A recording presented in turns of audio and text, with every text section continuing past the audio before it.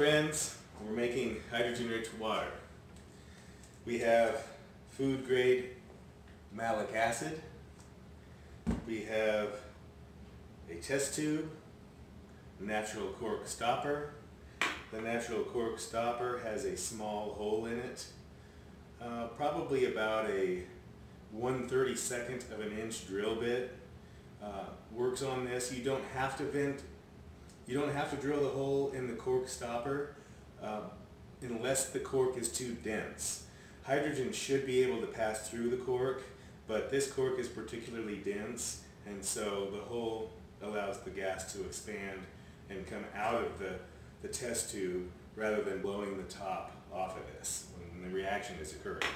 We have a magnesium rod. We have some clean drinking water and a plastic bottle.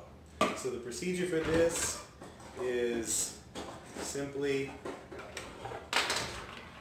here we go, quarter teaspoon of malic acid into the test tube, drop in the magnesium rod, we're going to fill this up to about an inch below the rim of the test tube,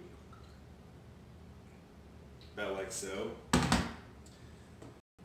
we're going to place this stopper on here. And as soon as you do this, the reaction is occurring. You can see this bubbling.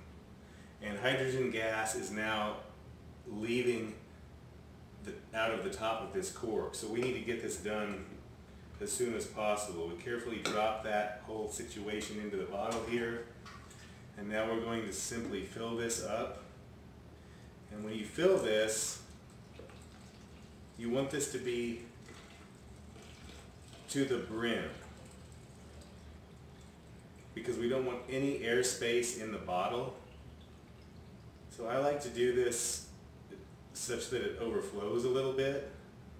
And you can see if you get it completely full, the water's a little concave on the top. That's what we want. And you can see the bubbles coming out of here. That's the hydrogen gas. So we want to make sure this is topped off. And we immediately place this lid and screw this baby down tight because we want this pressure to build. That's what's going to drive the hydrogen gas into the water. So what we're going to do immediately is we're going to put this in the freezer for 30 minutes. The freezer, the freezer's down here. The freezer will super cool this and allow for a better reaction. And in 30 minutes, when we take that out, we're going to gently agitate it for about two minutes. That's going to really supercharge the reaction for the last few minutes be able to open that and drink the water. When you open the bottle, drink the water as soon as possible. Or if you're not going to drink it right away, leave the top on because hydrogen only hydrogen gas has a half-life in the water of about two hours. So as soon as you open that lid and break the seal, that gas is going to start to evaporate into the atmosphere and you want most of it in your body rather than in the sky. So drink it quickly or don't open the lid. Thanks.